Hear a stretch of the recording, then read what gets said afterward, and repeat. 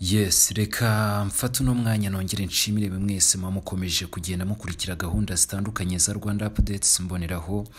Gukomeza kwifuriza ibihe byiza ndetse no gukomeza kunogerwa na gahunda zitandukanye dukomeje kugenda tubagezaho gatanu kuri gatanu. Ndagira ngo twihuse cyane tunyarukire kuri aya makuru nkomeje kugenda mbagezaho kuva ubwo majoro sankara yari mu rubanza. Ngira ngo murabizi ko yashize mu majwi igihugu cya zambia ndetse na perezida w'iki gihugu edgar lungu ko ari bamwe mu bari bemeye gutera inkunga uyu mutwe w'iterabwoba. Cyane ko bitanarangiriye aho kuko majoro sankara yavuze ko perezida w'iki gihugu lungu yatanze akayabo k'ibihumbi ijana na mirongo itanu by'amadolari eh, y'amanyamerika. Ni ukuvuga yajya gukabakaba hafi miliyoni ijana na mirongo itanu z'amafaranga y'igihugu cy'u rwanda.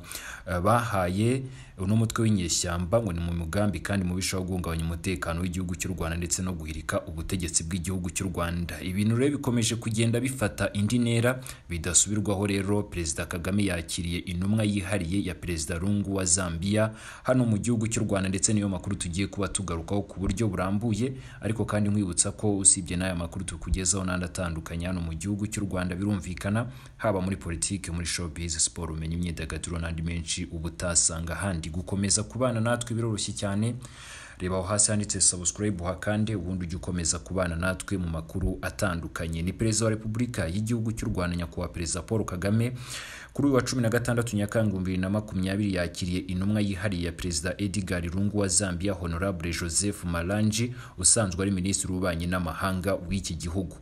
Ni nyuma kandi y'iminsi itatu yonyine nsabimana calixte wamenyekanye nka majoro sankara akiri umuvugizi w'umutwe w'umutwe witwaje intwaro wa FLN atangarije mu rukiko rukuru rwa Nyanza ko Perezida Lungu yemereye umuyobozi w'ihuriro muzamashyaka rya MRCD ubwiyunge ko azamufasha guhirika ubutegetsi bw'igihugu cy'u Rwanda ndetse anamusezeranya inkunga ikomeye cyane ngo ibyo bazakenera byose. Ni mu kiganiro honorable marangi yagiranye n'itangazamakuru ry'iwabo yasobanuye ko yagenzwaga n'ikibazo cyazamuwe na majoro sankara cyakomeje kuvugwa ku mbuga nkoranyambaga. Iyi ntumwa yatangaje ko perezida paul kagame yayibwiye ko ibyo majoro sankara yavuze bitakwizerwa kuko ngo ubwo yatabwaga muri yombi muri mata ibihumbi bibiri na cumi n'icyenda byagaragaye ko yakoreye ingendo mu bihugu bitanu birimo na zambia guverinoma ya zambia ikaba yiyemeje gukomeza gukora iperereza kugira ngo imenye impamvu igihugu cyabo ari cyo majoro sankara yahisemo ndetse na perezida wabo rungu ubusanzwe rero nk'uko honorable marangi yabitangaje umubano wa zambia ndetse n'uw'igihugu cy'u rwanda uhagaze neza kandi impande zombi zirabyishimira. Ibyo majoro rero sankara ngo yavuze ntibyigeze bihungabanya umutekano ndetse n'umubano w'ibihugu byombi habe na gato. Mwibutse ko uyu minisitiri marangi ashohoje ubu butumwa ni nyuma kandi y'amatangazo abiri ibiro bya perezida wa zambia byasohoye ahakana ndetse anamagana ibyo majoro sankara yatangaje.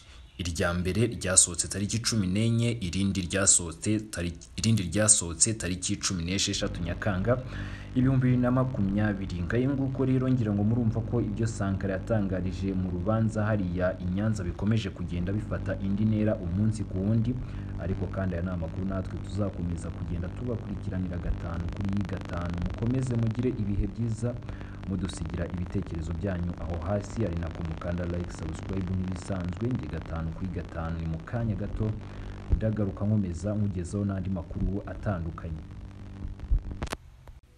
Here mu rwanda calixte nsabimana sankara wari umuvugizi w'umutwe urwanya ubutegetsi bwo mu rwanda fln yakomeje kwiregura umunsi w'ejo mu rukiko rukuru i nyanza mu ntara y'amajyepfo. Mu byo aregwa harimo ibyaha by'iterabwoba. Mugenzi wacu eric bagira ubusa yakurikiranye urwo rubanza ategura inkuru ikurikira. N'iburanisha ryatangiye rikererewe kubera abaregera indishyi bageze mu rukiko batinze ndetse n'aho baziye ibyuma by'ikoranabuhanga bibanza gutenguha bari muri gereza ya mageragere. Majoro karikisite nsabimana bakunze kwita sankara yireguye hifashishijwe ikoranabuhanga rya video conference aho afungiwe muri gereza ya mageragere. Yatangiye avuga ko hari perezida w'igihugu ataza kuvuga mu mazina wahaga inkunga. Umutwe wa FLN yavugiraga mu mugambi wo gushaka guhirika ubutegetsi bwa perezida Paul Kagame. Umucamanza ukuriye inteko iburanisha yabwiye uregwa ko ibikorerwa mu rukiko bitari ubwiru bityo ko ntacyo agomba guhisha uwiregura yavuze ko mu mpera za bibiri na cumi na karindwi bwana edgar lungu perezida w'igihugu cya zambia yahaye paul rusesabagina ibihumbi ijana na mirongo itanu by'amadolari y'abanyamerika. Kandi ko perezida wa zambia yari yamwemereye kuzamukorera ubuvugizi mu muryango uhuza ibihugu byo mu majyepfo ya afurika sadek. Majoro sankara yabwiye urukiko ko ubusanzwe perezida lungu yari yemereye rusesabagina miliyoni imwe y'amadolari aza gukomwa mu nkokora no kuba mu bihumbi bibiri na cumi n'umunani. Umukuru w'u rwanda yaratorewe kuyobora umuryango wa afurika yiyunze. Aha ngo yagize impungenge ko byazamenyekana asaba rusesabagina kwihangana manda ya perezida kagame ikarangira. Yavuze ko mu kugaba ibitero ku butaka bw'u rwanda bari bizeye inkunga ya zambiya kuko mu magambo y'uregwa rusesabagina yafataga perezida rungu nka se wo muri watisimu akagira n'abacuruzi benshi bahunze u rwanda bamufashaga. Aha kuri sankara ni ho ingabo za frn zahise ziva muri kivu y'amajyaruguru zikajya gukambika i burundi mu ishyamba rya kibira. Icyaha cyo kuri mu mutwe w'ingabo utemewe majoro sankara aracyemera ariko akavuga ko yinjiye mu mutwe wa FLN mu bihumbi bibiri na cumi n'umunani kuko uwo mutwe ngo washinzwe mu bihumbi bibiri na cumi na gatandatu uyu ni umwaka avuga ko yari komiseri w'itangazamakuru mu ihuriro nyarwanda. RNC rivuga ko ryashinzwe na General Faustin Kayumba Nyamwasa. Mu myiregurire ye Sankara ntagaragaza uruhare rutaziguye mu byo aregwa akavuga ko yaguye mu mutego w'abarwanya leta y'u Rwanda. Yinjira mu bo yise ibigarasha ijambo rikoreshwa n'ubutegetsi bw'u Rwanda buryita ababurwanya avuga ko mu bihumbi bibiri na cumi na gatatu ari bwo yageze muri Afurika y'Epfo afite umugambi wo kwiga ariko hahurira n'abarwanya ubutegetsi bw'u Rwanda. Bibumbiye muri RNC batangira kumwumvisha uburyo abasirikare n'abayoboke ba FPR bakomeye bemera General Kayumba kuruta Perezida Kagame. Kandi ko bari mu mugambi wo guhirika ubutegetsi buriho. Yasobanuye uburyo bamuhuje na General Kayumba maze amwumvisha uburyo abacitse ku icumu rya jenoside batewe amakubana na Perezida Kagame. Avuga ko yamwumvishije ukuntu bitari ngombwa guhanura indege ya Perezida Juvenal Habyarimana ariko Kagame arabyanga atirengagije amakuba yari bukurikire. Mu bindi avuga ko byamuteye kurwanya ubutegetsi ngo yaba Kayumba n'abandi bacitse ku icumu bahunze bamubwiraga ko FPR ikiri mu ishyamba. Perezida Kagame yoherezaga abasirikare bakivanga n'interahamwe mu gutsemba abatutsi bari imbere mu gihugu barimo n'abagogwe avuga kandi ko mu bindi bamubwiye bikamuhungabanya ngo abasangaga inkotanyi mu ishyamba bagiye kuzifasha ku rugamba bavuye mu Rwanda bicishwaga udufuni ku itegeko rya Perezida Kagame. Umucamanza yamubajije icyamuteye kumvira abo barwanya ubutegetsi kandi yaravuye mu gihugu ajijutse na cyane ko yari arangije kwiga kaminuza mu ishami ry'amategeko. Uregwa yasubije ko General Kayumba atari umuntu usanzwe mu Rwanda kandi ko kumuhindura byari ibintu byoroshye. Ati niyo mpamvu mu kinyarwanda bavuga ngo ihene mbi ntuyizirikaho iyawe njye nahuye n'izo hene mbi. Majoro Nsabimana Karixite yavuze ko mu kujya mu mutwe wa gisirikare wa FLN atiyumvishaga ko ari umutwe w'iterabwoba ahubwo ko bumvaga bagambiriye gukuraho umuntu bavuga ko yabahemukiye. Akemera icyaha akagisabira imbabazi ni na cyo kimwe mu kwamamaza amatwara y'umutwe w'ingabo za FLN na byo arabyemera akavuga ko yabikoze kenshi gashoboka yemera ko yakanguriraga abantu gushyigikira babaga bagabye ibitero akanabatiza umurindi. Gusa ku kugaba ibitero avuga ko byose byabaga atageze ku butaka bw'u Rwanda hamwe ngo yabaga ari muri Komore ubundi ari muri Madagascar.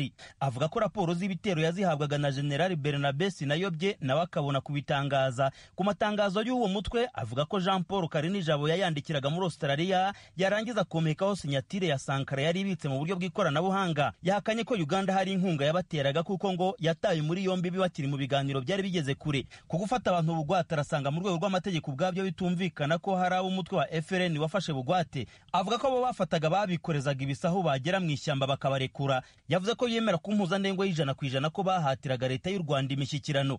Majoro Sankara yakunze kwiregura akoresha imvugo zakururaga amarangamutima ya hato na hato ku bari bakurikiye iburanisha. Ku cyaha cyo gucengeza amatwara yangisha u Rwanda mu bihugu by'amahanga Sankara yavuze ko kuri we yumva ari umunyacyaha ruharwa. Yagize ati ni byo rwose kuri iki cyaha ho ndi ruharwa kuko nabikoze imyaka itandatu. Yakomeje agira ati nagiye muri RNC ndabatizwa muri iryo dini ry'ibigarasha nabikoze ku maradiyo menshi atandukanye. Ku byaha icyenda yireguyeho byose arabyemera akanabisabira imbabazi ku gihugu ndetse no kuri perezida w'u Rwanda Paul Kagame mu baregera indishyi barimo abo byagizeho ingaruka ku bw'umubiri ndetse n'ab'imodoka zabo zagiye zitwikwa n'ibyo bitero. Majoro Sankara asigaje kwiregura ku byaha umunani bisigaye iburanisha rizakomeza ku itariki icumi z'ukwezi kwa cyenda uyu mwaka w'ibihumbi bibiri na makumyabiri. Ah bagira ubusa ijwi ry'Amerika Nyanza mu majyepfo y'u Rwanda. Mu Rwanda aho uwahoze ari minisitiri w'intebe Pierre Damien Habumuremyi ejo kuwa kane yagejejwe imbere y'urukiko rw'ibanze rwa Kacyiru aburana ku ifatwa n'ifungwa ry'agateganyo. Ubushinjacyaha bw'u Rwanda bumurega icyaha cyo gutanga sheki itazigamiye n'icyaha cy'ubuhemu. We yahakanye ibyaha byombi akekwaho kuba yarakoze mu mwaka w'ibihumbi bibiri na cumi n'icyenda. Ari umuyobozi wa kaminuza yashinze ya Christian University of Rwanda Assumpta Kaboyi yari mu rukiko. Ubushinjacyaha ni bwo bwahawe umwanya kugira ngo buvuge ibyo bushinja Habumuremyi busobanura ko bumukurikiranyweho icyaha cyo gutanga sheki zitazigamiwe n'icyaha cy'ubuhemu. Bwavuze ko habumuremyi nka perezida n'uhagarariye kaminuza ya christian university of rwanda hari sheke zigera kuri esheshatu zifite agaciro ka miliyoni zirenga ijana na mirongo irindwi yagiye aho abantu banyuranye bajya gushaka amafaranga muri banki bagasanga nta faranga afite kuri konti ye cyangwa iya kaminuza.